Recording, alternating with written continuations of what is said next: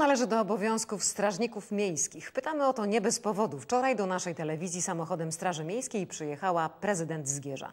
Czy na takie działania zezwalają regulaminy, sprawdzała Joanna Kaczmarek. Strażnicy miejscy przywieźli, poczekali i odwieźli od polecenie służbowe. Generalnie korzystamy z naszego służbowego samochodu, ale zdarzają się też sytuacje wyjątkowe. Dlatego strażnicy miejscy w Zgierzu od czasu do czasu, kiedy samochód służbowy zawiedzie, wyjątkowo wykonują pewne dodatkowe zadania. Dbamy o ochronę e, ładu, porządku i i wszystko, co, co dalej e, z tego wynika. To jest bardzo szeroki tutaj wachlarz. W Łodzi dość szeroki wachlarz zadań obowiązywał za czasów prezydenta Kropiwnickiego.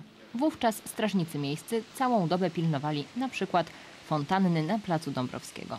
Pamiętam, że był taki moment, niemniej jednak dotyczyło to y, eliminowania zagrożenia związanego z funkcjonowaniem y, tej fontanny.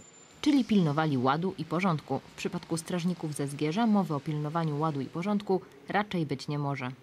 Strażnicy miejscy przede wszystkim mają wykonywać obowiązki swoje zgodnie z ustawą, zgodnie z rozporządzeniami, oczywiście zgodnie e, z regulaminem. Jeżeli nie, to i w Zgierzu i w Łodzi muszą liczyć się z konsekwencjami. I tu, i tu procedury są takie same. Co takie konsekwencje wyciąga?